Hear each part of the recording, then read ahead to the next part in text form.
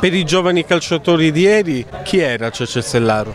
Mm, mio padre sicuramente, mm, visto che c'è anche questo memorial, più che altro per i calciatori che sono stati i suoi calciatori, quindi siamo oggi qui per, per ricordarlo. Quale consiglio offriva loro?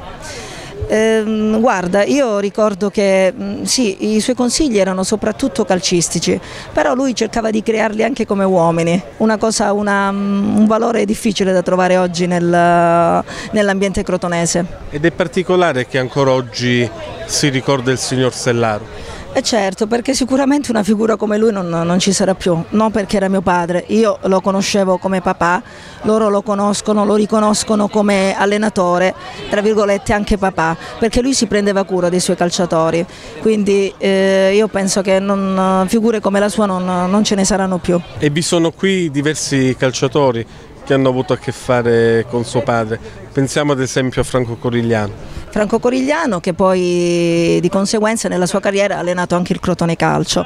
Poi ricordiamo anche Cimicata, ricordiamo anche va bene, Esquillaci, De Paola che non so se ci sarà stasera e, e tanti altri, Scarriglia, Fortunato Scarriglia che poi per una cosa o l'altra non ha giocato nella, nella Juventus ma lui ha, è stato anche venduto alla Juventus da, dal mio papà. Allora, eh, lo stesso Fortunato era come aveva vissuto con mio padre in un certo senso eh, lui gli inculcava ai ragazzi quello che era il valore della famiglia, quindi lo stesso Fortunato vedendosi eh, allontanato dalla sua famiglia per, per il calcio eh, si è trovato in difficoltà, quindi lui quell'affetto, quell'amore della sua famiglia, lo stesso affetto che, che gli dava mio padre non, non l'ha trovato poi nel, nella Juventus, non come adesso, come oggi che i ragazzi sono pronti subito anche a 13-14 anni ad andare via.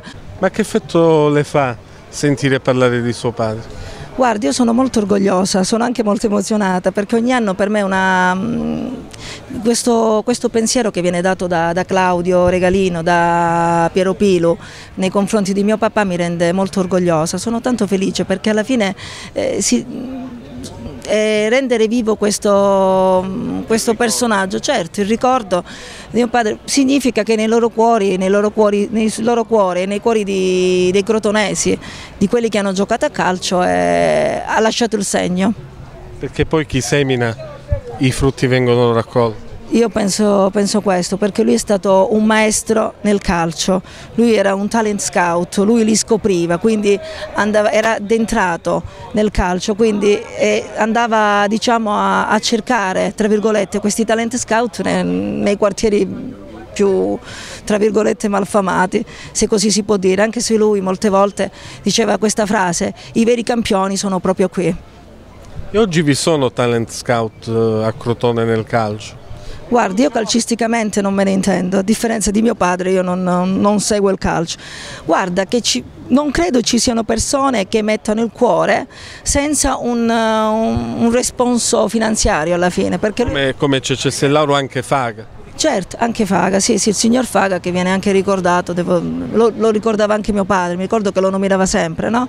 Il fatto di non avere, di non essersi, tra virgolette, farsi fatti i soldi il, con il calcio è una cosa che alla fine eh, fa onore a questi, due, a questi, due, grandi uomini, perché quello che era importante era portare avanti questi, questi ragazzi calcisticamente e anche umanamente.